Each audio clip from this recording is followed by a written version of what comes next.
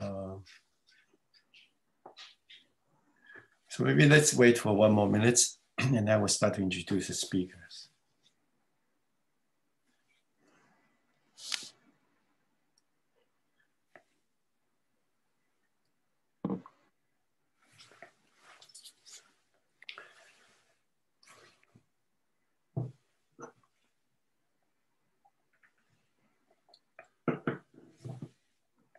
Okay, so so maybe let's start it.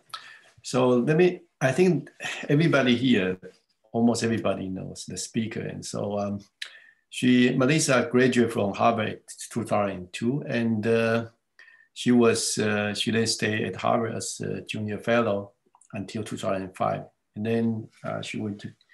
She is now a professor at Columbia University, and she works on uh, mathematical aspect of large duality and the mirror symmetries.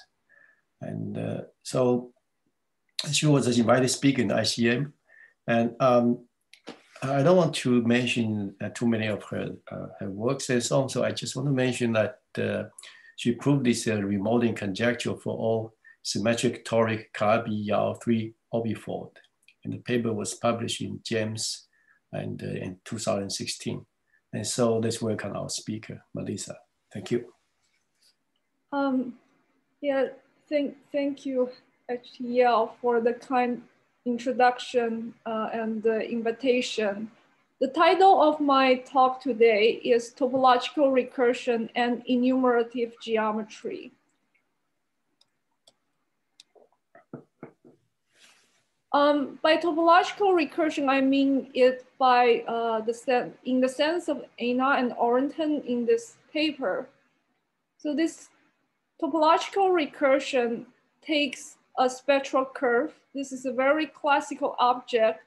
C is a Riemann surface. XY defines a holomorphic embedding or more generally holomorphic immersion. And this B is some uh, object which we will define precisely later.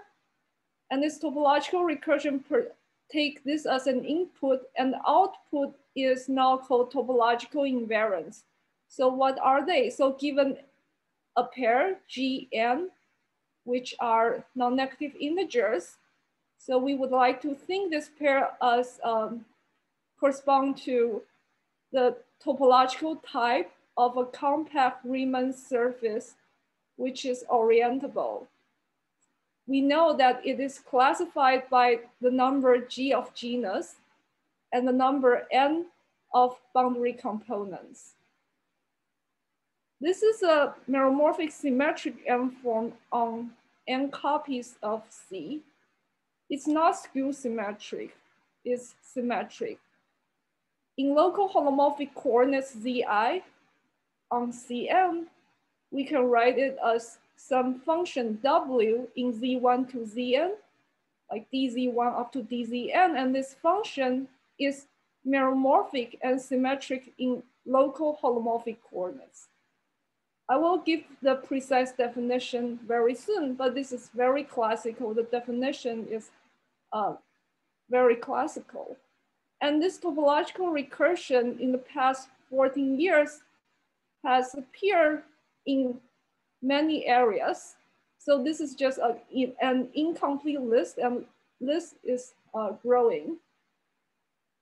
So for myself, I'm most interested in this uh, universal structure which appears in enumerative geometry more precisely, intersection theory on moduli of space, moduli of stable curves, and moduli of stable maps, which define a Gromov-Witten invariance, which are virtual counts of holomorphic curves in projective manifolds.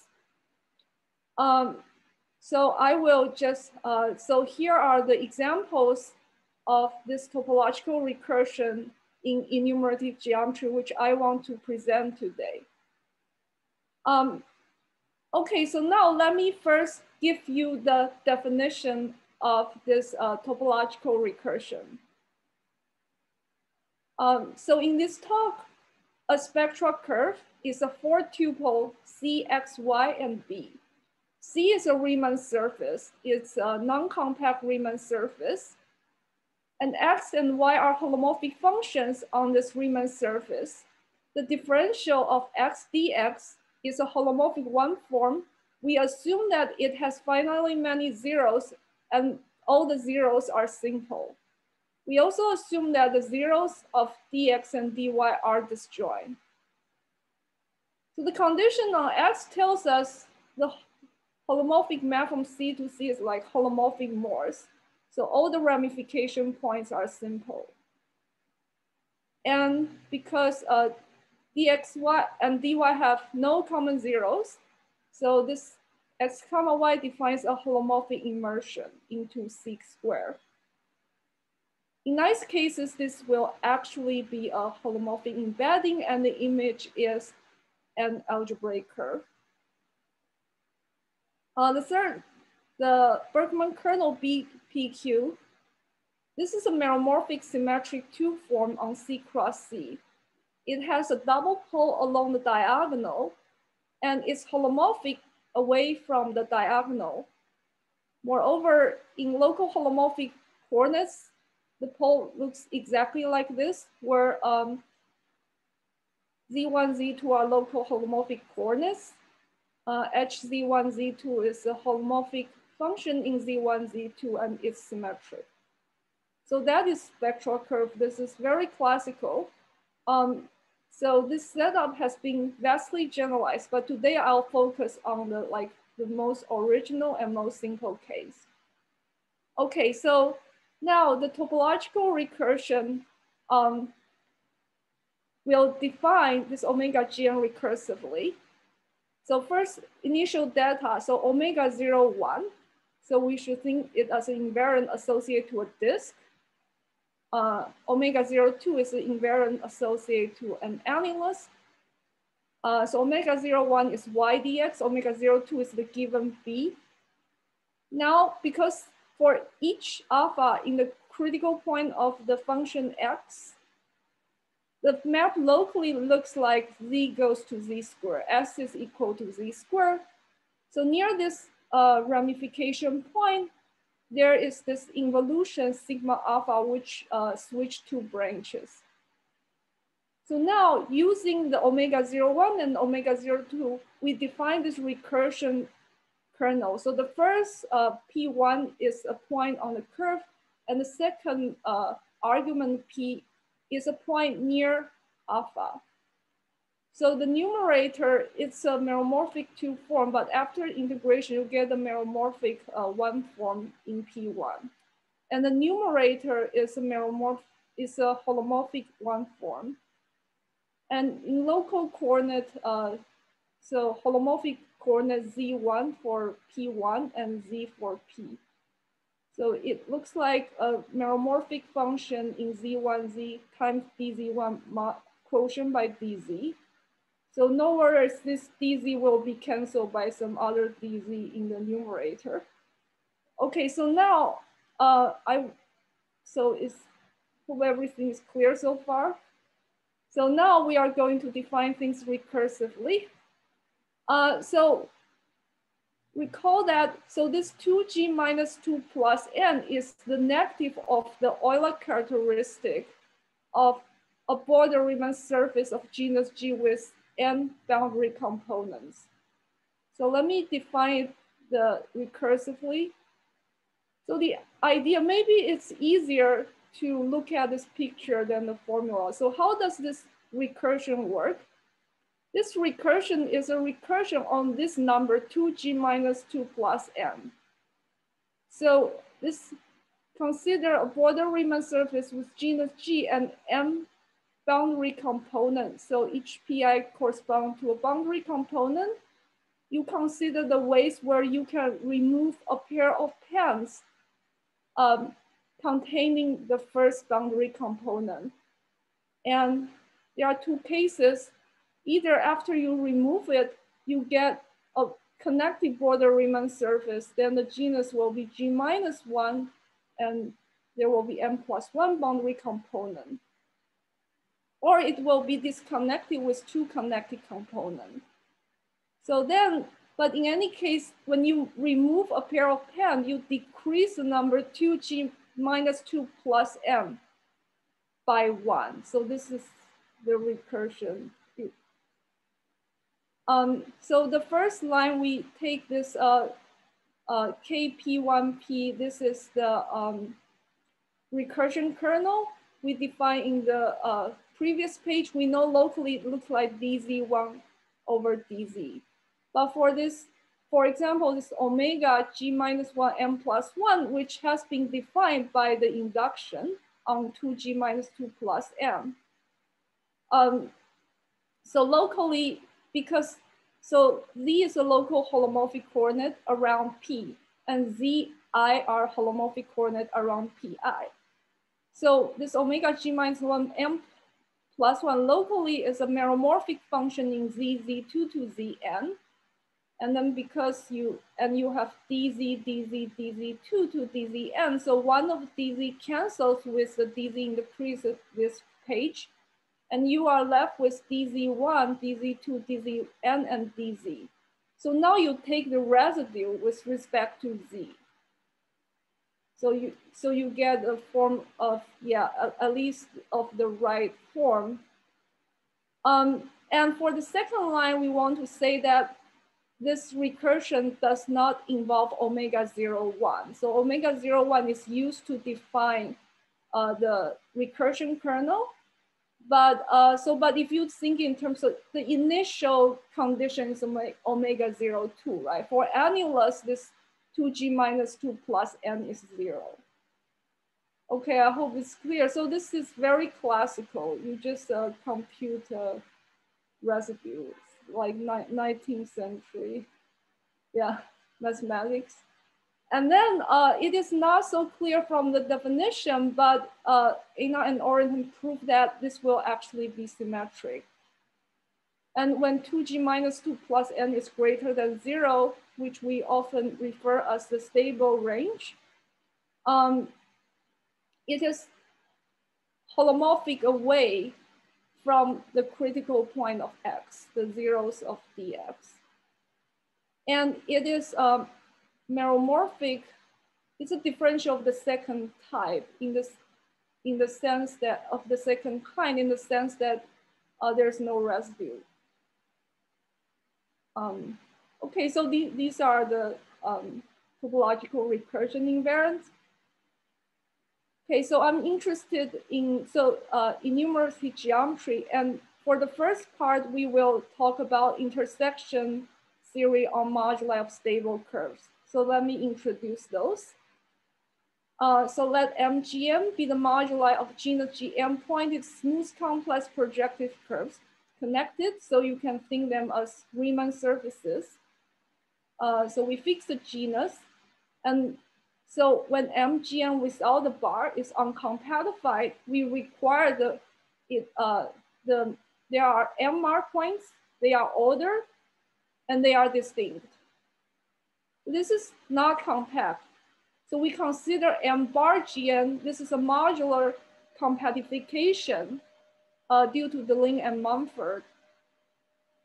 And it parameterizes genus GM pointed stable curves. Uh, so how do we compactify it? Following Deligne and Mumford, we allow C to have nodal singularities. Xi are still distinct. Um, but they are required to be smooth. They cannot uh, be one of the nodes. And we fix the arithmetic genus G. And then, so after compactification, this is a compact complex orbifold. Okay, and also we need the stability condition. Stable means the automorphism of this curve together with mark point is finite. Um, so equivalently, if you consider when, so in general, you have a nodal curve. After you remove the singular point and the mark point, it becomes a possibly disconnected smooth curve with punctures. So this condition says each connected component has negative Euler characteristic. So, the, so you cannot have infinitesimal automorphism, which will uh, generate holomorphic vector field. There's no holomorphic vector field fixing x1 to xn. Um, yes. So, uh, okay, so this m bar gn uh, is a complex orbifold of complex dimension 3g minus 3 plus m. Oh, uh, when genus is zero, it's actually a projective manifold of dimension m minus 3. Um, we can consider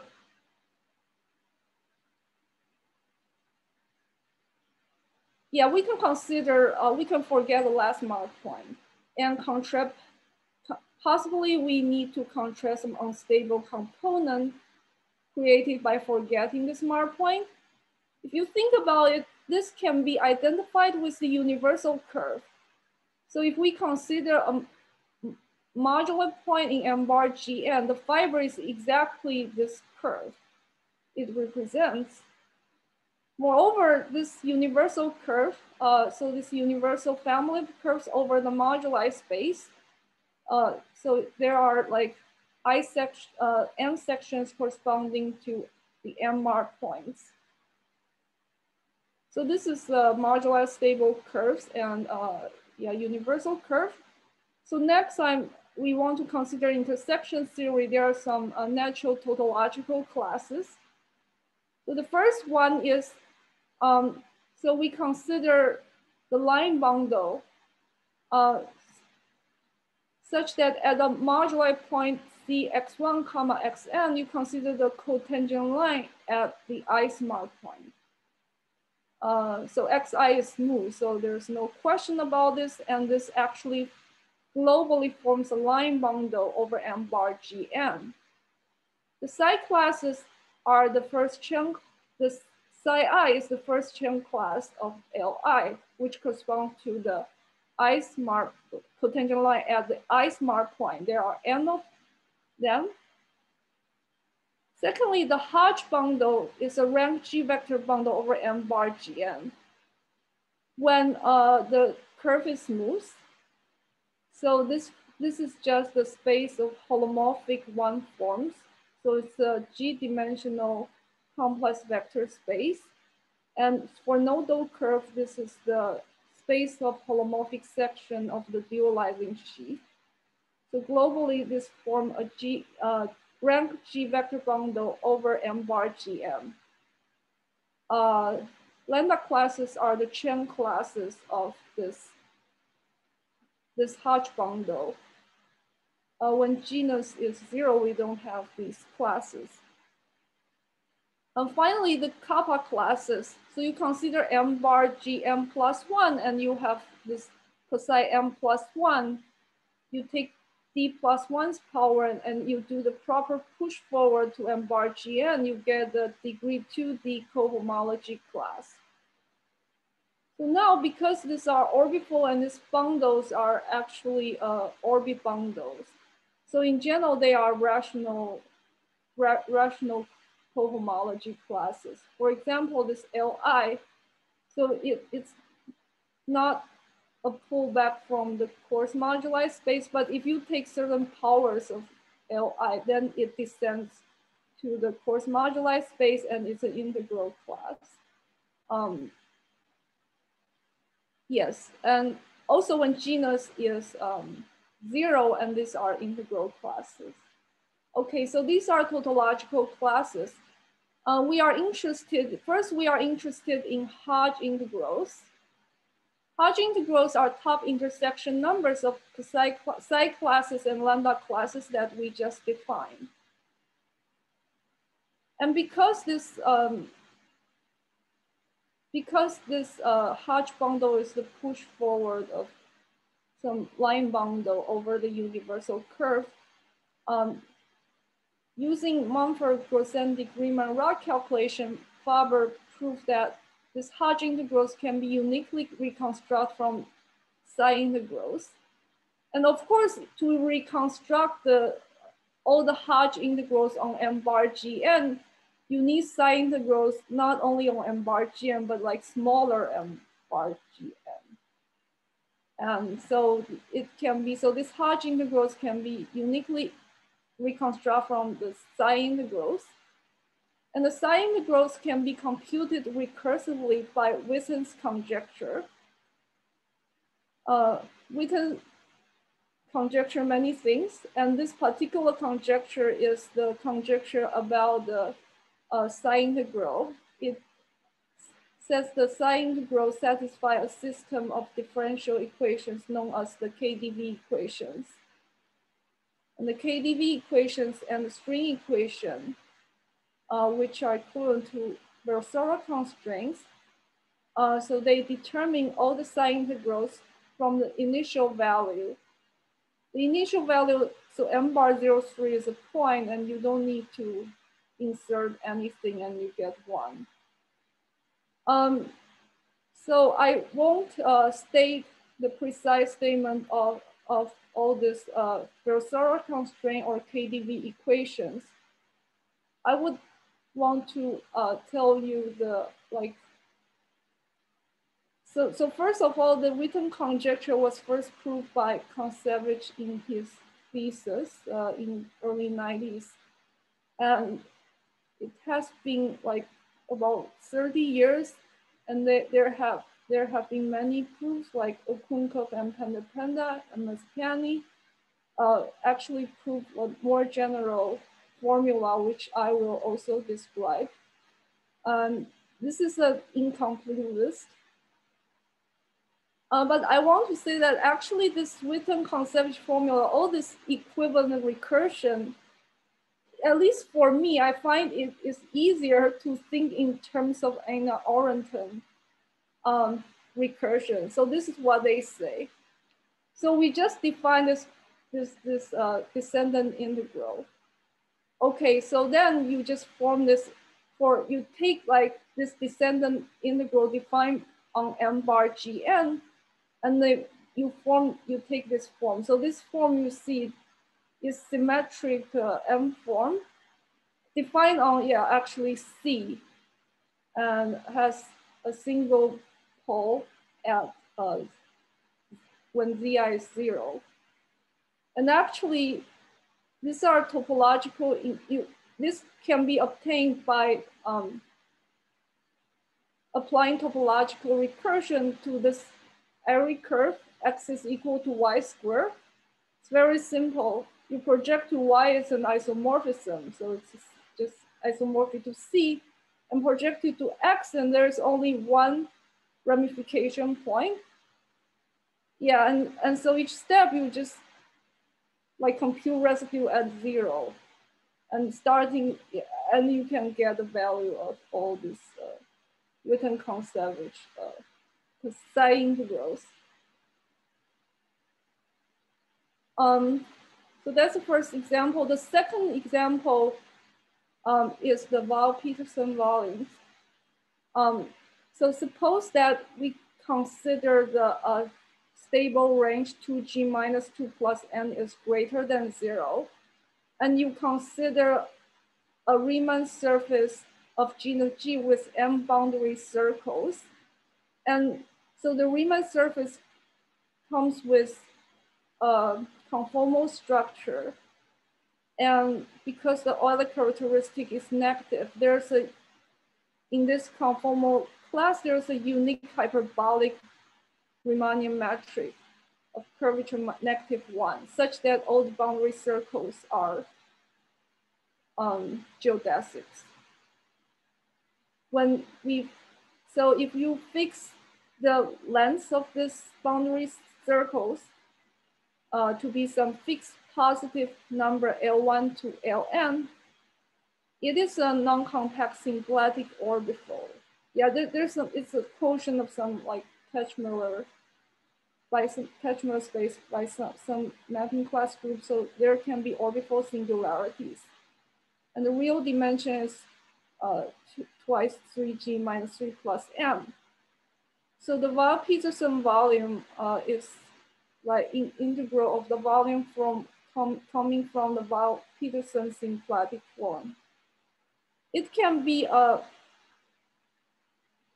written in terms of the Fenchel-Nielsen coordinate, but Mirzakhani proved that actually it can be expressed in terms of the, um, the integral of psi classes and the kappa one on m bar gm.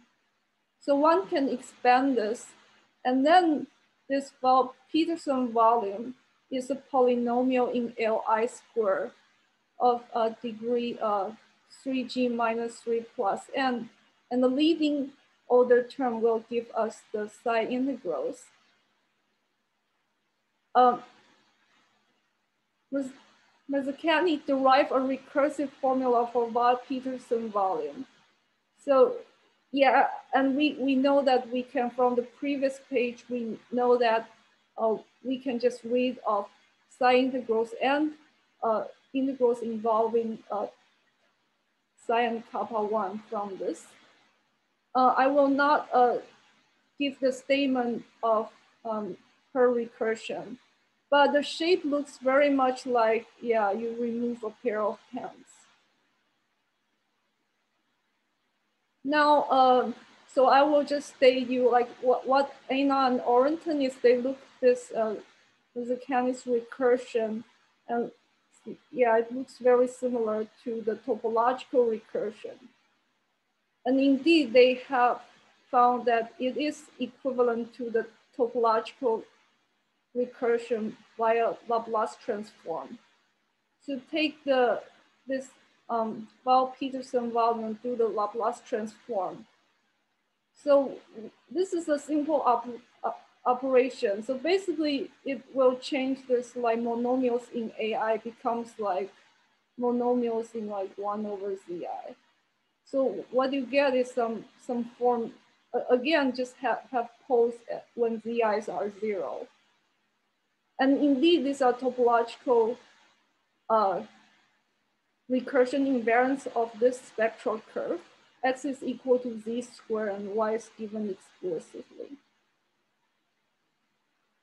Um, yeah, so this is another example. And actually, uh, so there are higher Weil-Petersson volumes, which are intersection of arbitrary kappa classes and psi classes. I guess that's why they are called higher Weil-Petersson volumes.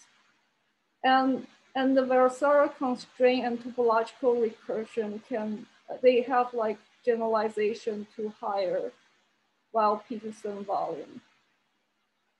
So yeah, so the examples that I presented are like the first examples of, topological recursion, um, which appear in like intersection theory of moduli of stable curves. Um, so next, I would like to give you an example, which is uh, Gromov-Witten theory. So I'll just start with a very simple object. Uh, so the projective line. We will actually consider equivariant, uh, equivariance theory. So let the two-dimensional torus P act on the projective line. Uh, so let, uh, yeah, so the equivariant cohomology of a point is a polynomial ring of like two variables. W1 and W2 are universal first Chern classes. Uh, they are degree two. Of course, this action is kind of, so the diagonal acts trivially. So the action is explicitly given by this. And then there are two torus fixed points, like P1 is zero, one, and P2 is one, zero. And the equivariant Poincare dual is H minus W2 and H minus W1. When you restrict H to P1, uh, so the equivalent is an element in the equivariant cohomology of a point is W1. So, so in particular, if you restrict H minus W1 to P1, you get zero. What does this mean? This means P1 does not intersect P2. Uh, yes, so uh, the equivalent cohomology of P1 with this action is like, oh, we use complex coefficients. So it's a polynomial ring in H W1, W2 with this single relation. And we know the cup product corresponds to intersection. So this just tells us this P1 and P2 do not intersect. And uh, so when we, uh, we can recover the classical uh, cohomology of P1 by setting equivariant parameters to, to zero. So next, we are going to consider Gromov-Witten invariants of P1. So now instead of M bar Gn, now we have M bar P1D. So this is a moduli space of M-pointed genus G degree D stable maps to P1. So, so the domain C is a nodal curve. It can be unstable. And X1 to Xn are ordered distinct smooth point on C. And U is a degree D map to P1. Uh, and the stability condition is to say that, uh, yeah, the map has finite automorphism group. Uh, so this is a proper Deligne-Mumford stack. So uh, yeah, it's a, it's a compact singular or usually singular orbifold. So locally, it's like quotient of some uh, zero locus of polynomial by a finite group. It's sing although it's singular, it's uh, it's virtually smooth in the sense it it has a virtual tangent bundle, which is a difference of two vector bundles, and the rank of this uh, virtual tangent bundle is the virtual dimension. And there is this virtual fundamental class, uh, which behaves like fundamental class. So we can use this virtual fundamental class to do intersection theory and define Gromov-Witten invariants. And indeed, so now um, there is a, we can actually do it in the equivariant setting. And there, there's a push forward. This is a push forward from the equivariant cohomology of this moduli space to the equivariant cohomology of a point, which is a polynomial ring of two variables. Uh, so the, if we have evaluation maps, given a stable map, we can take the value at the i-th marked point, which is a point in P1. Oh yeah, I should probably say that, okay, so the torus action T on P1 acts on this moduli spaces just by moving the image. So the torus, so this evaluation maps are T equivariant. We can pull back T equivariant cohomology classes well, as described in the previous page. And we still have the similarly defined like this line bundles Li coming from the cotangent line at the i-th marked point. So now we can define this uh, so correlator using like uh, the moduli space GMD. So we can pull, we can uh, integrate this the, the psi classes and also pull back of gamma i. And these are like equivariant uh, Gromov-Witten invariants of P1. And uh, so this has been like fully solved by uh, the, yeah, Okounkov and Pender uh, yeah, a long time ago. Um, so now, so next thing is we, it will be convenient to, we want to do the following. So we want to form some, uh, yeah, we want to sum over D, right? So now given, because we, we are getting close with topological recursion, we want to have something which is uh, depend on G and N, sum over D. So what we do is so for tau zero means we, we add like m extra point and we just insert this cohomology class, uh, T01 plus T1H. So these are primary insertion because for this extra time, we don't insert the uh, psi classes. And we sum over m. And there is a divisor equation. So indeed, this will actually uh, this is a formal power series, but divisor equation tells us actually it will, its dependence on T1 will be via the exponential of T1, which we call small q. Uh, so, and we can, um, non-equivariant Gromov-Witten invariants of P1 are given by like setting this equivariant parameter to zero. Uh, so what uh, Bohan Fang and Zong and myself, what we prove is the following. So we take T equivariant Gromov with an invariance of P1, and actually they correspond to the topological recursion invariant omega gn. So what is the spectral curve? The spectral curve is C star. So X is now it's not holomorphic, but this is, uh, there are some log singularities, but that is fine. So dx is still, dx is holomorphic on C star and meromorphic uh, if we extend it to P1.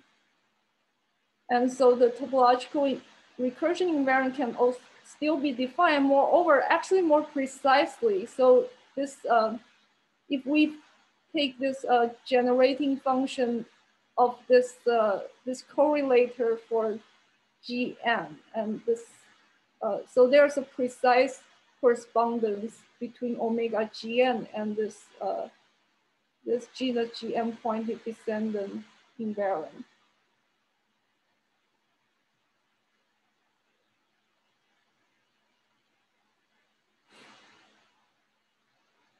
Um, so, uh, so yeah, so actually now we can start with this. Um, and then we take non-equivariant limit. So let W1, W2 to be zero. So if we take this, this curve, then we get the usual Gromov-Witten invariants of P1. And there is also like stationary point where we let T0 and T1 to be zero. This means we don't insert any T in the previous page, page. So we get like so, so then this, so that means if we apply topological in, uh, apply the topological recursion to this much simple, much, it's just x is equal to y plus one over y and the branch, there are only two branch points, right? It's like plus minus one. And in the non-equivariant limit is plus minus square of q. And in the equivariant setting, you still have two branch points, but it's just more complicated. Uh, so the last case where the spectral curve is like x is y plus one over y. So this correspondence is known as the Norbury-Scott conjectures, conjecture by Norbury-Scott, and is proved by Dunin-Barkowski, Orantin, Shadrin, and Spitz. So what we did is we uh, we look at the paper and we generalize it to the full equivariant setting. Um, we can also take another, yeah, let, let's start with uh, just the start, just like uh, we, we start with, um, yeah, still all the parameters, T0, T1, and Q and uh, WIs. So we, we think that T carbon Gromov-Witten invariants of P1 so now first we let W2 to be zero. So yeah, so, so it becomes like a action of one dimensional torus. Uh, so this, uh, so then the topological, so, so now we just get it to, so now we get like C star equivariant Gromov-Witten invariants. And we take the large radius limit q is equal to zero. And then, so you see the term involving q goes away and what you get is, so take C star with this and actually we get C star equivariant Gromov-Witten invariants of C. This is equivalent to say that you actually, because this C, you, you get this Hodge integral. So it's like psi class, but twisted by this uh, top Chern class of the of the Hodge bundle tensor this uh, trivial line bundle, line bundle, which is equivariantly non-trivial. So you get this uh, combination of lambda classes. Um, So now let's take another limit when uh, W is equal to it's negative one. And then, and you exponentiate this and you get a Lambert curve. And actually, so th there's a topological, if you apply topological recursion to this curve, and the omega gn will give you simple Hurwitz numbers. So of course, simple Hurwitz number, so now the simple Hurwitz number count degree uh, uh, genus G cover of P1 with some specified ramification profile over infinity. And uh, so by ELSV formula, they are related to linear Hodge integrals. Uh, so involving, uh, if you expand the right-hand side involves one lambda class. This conjecture is, yeah, it's known as the Bouchard-Marino conjecture. And it was, uh, has been proved. Um, and also this direction, this, this type of conjecture, this uh, so there are like various uh, versions of Hurwitz numbers and they have, yeah, and, and they correspond to like uh, topological invariance, topological recursion applied to other spectral curves. And also this ELSV formula uh, plays a crucial role in the uh, Okounkov and Pandharipande's proof of the Witten's conjecture. So as you can see, if we can find a way to like extract the sign integral from this, uh, then one can get the proof of Witten's conjecture. Okay, so now um, I want to talk about, so this is generalization, but there's another direction of generalization. So P1 is one dimensional, but this P1 example, um, oh, this is uh, maybe too small. Uh, so the, so, so actually, so this, uh, this little x is actually uh, known as the superpotential of the Landau-Ginzburg mirror of P1. And this is, so this Landau-Ginzburg, so this can be viewed as so uh, this uh, theorem we just stated can be viewed as a version of O genus mirror symmetry. So where on the A model, all genus invariants are defined by Gromov-Witten invariants, counting holomorphic maps to P1. And on the B model, the higher genus invariants are defined by this uh, Chekhov Eynard-Orantin topological recursion. But if you do go to the higher dimensional, for example, Pn, and then there's a Landau-Ginzburg mirror, so the um, X is replaced by the so-called superpotential. So with all the blue parts is the non-equivariant version, and there's also when the blue part is the equivariant perturbation. So the genus zero mirror symmetry says that in the equivariant version, take the equivariant quantum cohomology of Pn, it is isomorphic to the Jacobi ring defined by this uh, uh, superpotential. And you can take non-equivariant limit, um, W goes to zero, you get a non-equivariant quantum cohomology. And uh, you take Q is equal to zero, you get classical equivariant cohomology. And then, uh, so then we, so the generalization is one can actually generalize this to like, you consider still Gromov-Witten invariants on PN and on B model, you use like higher, higher dimensional Landau-Ginzburg model. And this can be uh, generalized not only to PM, but for uh, more general toric Fano variety. Um, yes, so then, and actually this tells us how to, yeah, actually this, uh, this superpotential is obtained by counting holomorphic disks bounded by uh, the torus fiber of the moment map. So the topological recursion if you think in terms of a model, it tells you how to construct all genus Gromov-Witten invariants from the disk and annulus. And so hopefully, so if we have some, some, some more general Fano variety, which is um, not toric, but we can somehow define this uh, disk potential by counting holomorphic disks.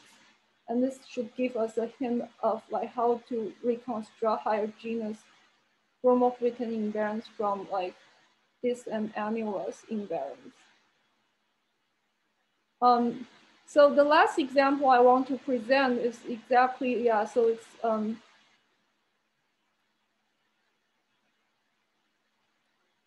open Gromov-Witten invariants for toric Calabi-Yau threefolds. Um, so here, so X is a symplectic toric Calabi-Yau three manifolds. Uh, we can actually do the orbifold case, but let's, for the moment, assume it's a manifold. Uh, so as a complex manifold, it's a GIT quotient of the p-dimensional uh, torus C star P. Um, and so the symplectic structure comes from the symplectic reduction. Uh, so the compact torus K, which is the p-dimensional compact torus, acts on V, which is CP plus one uh, Hamiltonian, uh, it's an Hamiltonian action, yeah, with respect to the standard uh, Kähler form on CP plus one, three, and we consider, so mu tilde is a moment map, and it's the pre-image of some theta. Um, and so W theta is a symplectic structure coming from the symplectic reduction. Now, so to define open invariants, so open Gromov-Witten invariants count holomorphic. Uh, so here we have a, a Kähler manifold X, and open Gromov-Witten invariants are uh, count holomorphic holomorphic maps from border Riemann surface to X with boundary in Lagrangian submanifolds. So here I'll consider the so-called Aganagic-Vafa Lagrangian brane because they first introduced them. Uh, these are generalization of uh, the Harvey-Lawson special Lagrangian brane in C3. So the picture is, yeah, so, so, so this is, uh, um, so topologically circle times R2. So in C3, yeah, they are given by these equations and they intersect, in this example, it intersect uh, V1 axis along a circle and it bounds a holomorphic disk in the Z1 axis. Uh, so let me, yeah, give you a example where, so for example, this is KP2, the total space of O minus three over, uh, over P2. So what I draw here is like uh, the three P1s, which are the torus invariant P1s in the zero section P2. And over the three fixed point, you have uh, the three lines, which are the fibers of O minus three over this three fixed point in P2. And now we have this type of rings L1 um, intersect the fiber L2. So, um, so the compact three-dimensional torus acts on this uh, symplectic, non-compact symplectic uh, Calabi-Yau threefold KP2. And there's a two-dimensional torus which acts trivially um, on the, so, so it acts trivially on the canonical line bundle. Um, so if you consider the moment map of this two-dimensional torus, the, yeah, so it maps like it, the image is uh, co covers the whole R2. And this one skeleton, which is by definition the union of this zero dimensional and one dimensional orbit, you can see that you get a, a trivalent graph. And the image of this Li, uh, this under this uh, map is just a point. So you can view this toric graph as a moduli of Aganagic-Vafa branes.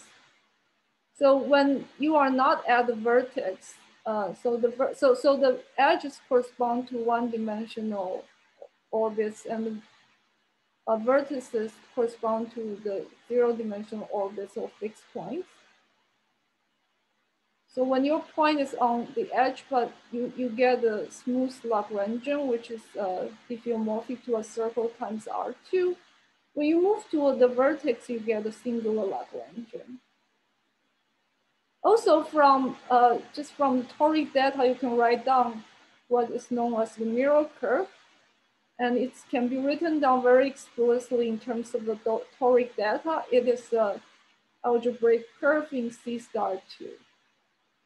And it is parameterized by a little q, and these are the complex parameter, and the number of complex parameter of the mirror curve is equal to the number of Kähler parameters of your uh, Calabi-Yau threefold. And this mirror curve can, should be viewed as the complexified moduli space of the Aganagic uh, Vafa brane. So the graph in the bottom is like, this tells you like the location of the eknagic buffer frame. But you can also equip it with uh, um, U1 connection. And so this create a circle over, yeah, over each point in, in the, in the graph. Um, so now this will actually be the spectral curve, but let's continue. Uh, okay, so with this, so now with this Aganagic-Vafa uh, Lagrangian, so we form a yeah, generating function of genus G. So, so this generating function, so let me first tell you what this N is. So this count, uh, so this G, so this count holomorphic uh, holomorphic maps from border Riemann surface sigma of genus G. This tells us what G is, and it has m holes. And the moduli space, because of the condition of Calabi-Yau and the choice of L, so the virtual dimensions, expected dimensions zero. So we fix Gn, which tells you the topological type of the domain. We also fix um, the topological type of the map, which is given by the degree is now it's a relative homology class. And also uh, the boundary consists of I circles, uh, circles, and we can consider the class of this circle in the Lagrangian. Since the Lagrangian is circle times R2, so the uh, first homology is one dimensional. So this D is degree and mu I are winding numbers. So D is actually its multi-degree. Uh, yes. So, and there's some compatibility condition because there's some, if you take the boundary of D, it, it's in H1. So there's some compatibility condition. So after you fix the winding number mu i, the degree of freedom of D is the same as the second uh, homology of X. So now we take we fix genus and we fix G and N, fix the topological type of the domain. And now we sum over the topological type of the, the map. So this Q and there are Q1 to QP, this, this keeps track of the degree and this XI tilde keeps track of the winding numbers mu i. So this is a generating function. Right now, it's just a formal power series in Q1 to QP and X1 to Xn. So now, um, right, and the mirror curve, so we will make it a spectral curve. By so x is log x, little x is log x, and little y is log y. And also this also, this curve in C star 2 has a natural compactification. So C star Q is a compact Riemann surface, which is contained in a, a natural toric compactification of C star 2 is defined by the polytope, uh, a polytope P. And for the compact Riemann surface, we have a fundamental bidifferential of the second kind normalized uh, using some A cycles, which we know how to normalize. So now, uh, so what are the, so, so first there's this, this mirror theorem, which is conjectured by Aganagic Vafa, Aganagic Klemm Vafa, and proved by Graber Zaslow in the KP2 case, like when Graber at Harvard. And like uh, Bohan Fang and myself proved it for like general uh, toric Calabi-Yau threefold. And with them, we extend it to the orbifold case. So this, this mirror theorem says that if we take this formal power series and we differentiate it, it becomes, uh, if you fix, fix Q, this is the one form in X. This is actually omega zero one. Expanded near the puncture associated to, um, yeah. So the thing is, if you take L1 and then, so this corresponds to a puncture on the mirror curve, and the puncture is away from the, uh, the ramification point, and you can write y as a function of x. So finally, okay, I'm almost out of time, but I'm almost done. So the remodeling conjecture con conjecture by uh, Klemm, Marino, Pasquetti, so proved by Eynard-Orantin when uh, the Calabi-Yau threefold is smooth, and we prove it when the Calabi-Yau, we allow orbifold singularities. This says the following. You take this uh, FGN, it's a formal power series. You, for fixed Q, you differentiate with respect to X, Xi. So now you get a like formal uh, multilinear, mul multilinear uh, symmetric M form. And it's, it's a priori formal and it's holomorphic. It turns out that it is equal to omega gn expanded uh, near the puncture as, uh, corresponding to your Lagrangian. Near the puncture, this omega gn is holomorphic and xi's because it's away from ramification point, xi are good local holomorphic coordinates. You expand it in q and this xi's, and then we have very explicit uh, mirror map relating little q and big Q and, uh, and also xi tilde and x.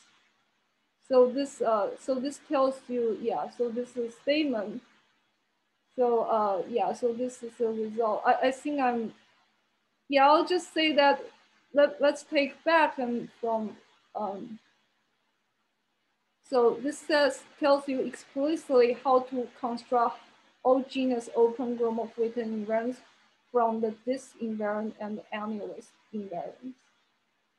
Oh, my time is up, so thank you for your attention. Just say, oh, thanks a lot for the very interesting talks.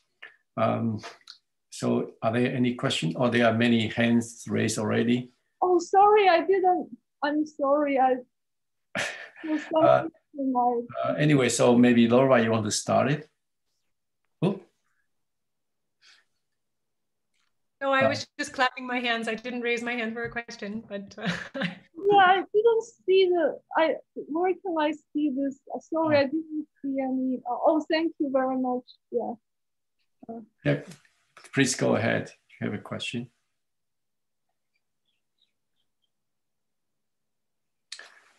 Uh, so, any anybody has questions about? Sure, I, I have I have a question. So, um, thanks, Melissa. That was a great talk.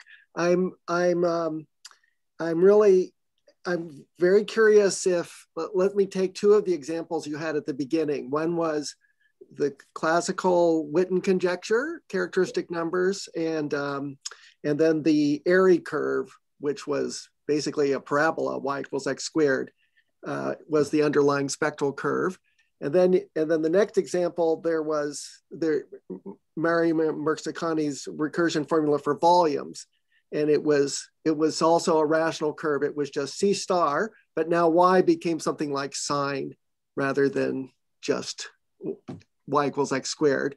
And what I'm wondering is, is there is there any heuristic recipe you can give that describes how you go from the problem, the invariance you're trying to compute, to the spectral curve that computes them? Oh, so what Anna told us is like yeah, must when they try to find like the curve for Mirzakhani's uh, recursion, they they they told me that they think they must. So the thing is because they already have the answer, they can reconstruct the. So they don't know it is sign, so they just assume it's power series. And I heard that they compute like 15 terms and that's what they told that told us. Yeah. Uh, but, but like, is there even going back to the simpler case of Witten's original conjecture? I mean, the Airy function appears in Kontsevich's solution. I'm just oh, wondering. Yeah, yeah, right. Because this the motivation of this. So I'm less familiar with the. So actually, the motivation is the matrix, random matrix. It's because if the spectral curve comes from a matrix model, it, so this invariance will be the large n expansion of that matrix model. But their observation is they can take a curve which does not is not necessarily from from a matrix model, but in Kontsevich case, we know it's, it's a matrix model. I see. I see. Okay. Thank you. Are there some other questions? Uh, I have a question. This uh, this Eynard-Orantin proof and the your proof. Uh. What's the major difference in ideas between yours and theirs? Okay, so the thing is, I am so you see, when I first work, yeah, when I first about, heard about this, this, this conjecture, I think it's amazing. I, I, but, but the thing is, I, I found out that my difficulties is uh, to prove this conjecture. My difficulty is I understand the Gromov-Witten invariants very well. I realized I didn't understand one complex variable as well as I should. So, so the thing is, my proof is like, like I take the B model answer, and because I know we know the A model together with my collaborators well, so we try to like, like try to resum the Gromov-Witten invariant such that it match the answer from the B model. But I think they are the opposite. They know the B model very well, so they take the answer from the A model and they try to change to to to match people like yeah i think their, their proof is more of the model so they try to uh, yeah i see you are it's quite interesting story um, yeah. I mean, as a small comment, I think the Eynard-Orantin is considered an ansatz by mathematicians. It's only a proof for physicists, yeah, um, as I know.